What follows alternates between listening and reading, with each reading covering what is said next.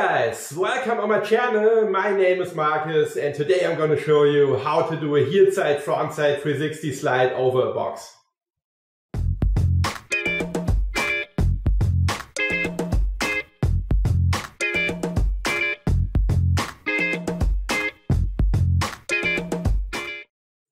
Learned the first basic tricks on the obstacles, then it's time to try the first spin over a box or a slider. In this video I'm going to show you how to do a heel side front side 360 slide over a box, which is very easy to learn and also an important base for many further rail tricks.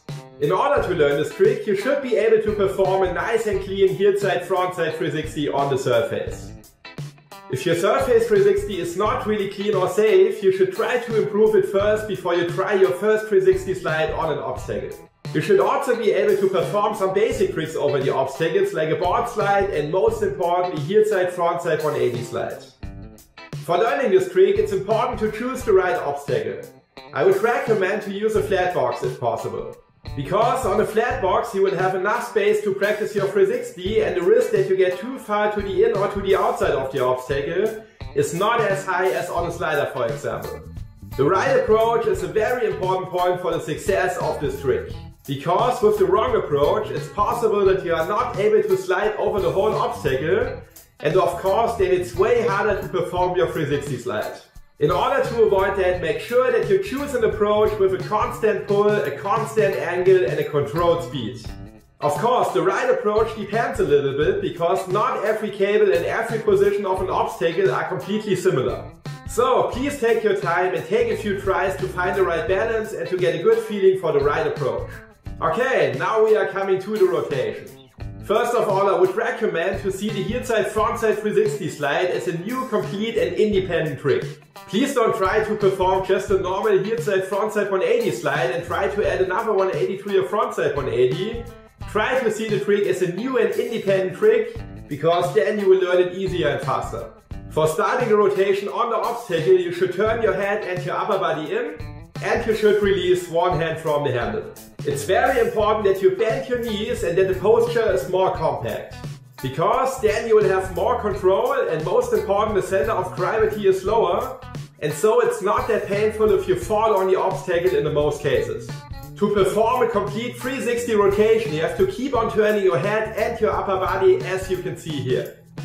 You can support that by pulling the handle active to your body like for a normal heel side front side 360 on the surface.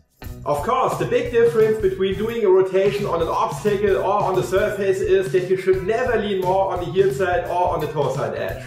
Because then you will fall immediately on the obstacle. In order to avoid that, make sure that the center of gravity is exactly over the middle of the board during the whole 360 slide on the obstacle. So it's easy to find the right balance and to perform a smooth rotation with a clean handle pass. Right after the handle pass, you should stay in a compact posture. The center of gravity should be still over the middle of the board because then it's very easy to finish the trick and to leave the obstacle without a problem. Try to perform your 360 slide not too hectic and too fast, it should be more slow and controlled. Because then you can learn the trick easier and faster. When you finish the rotation, make sure that the front shoulder is in front and in direction of the cable again. When you left the obstacle, try to absorb the landing by bending your knees. Of course, when you're feeling comfortable with this trick, you can try to perform a 540 or a 720 slide as well. But I would recommend to focus not just on spinning as much as possible on an obstacle. Try to perform some further combinations because then you can improve your skills on the rails very fast.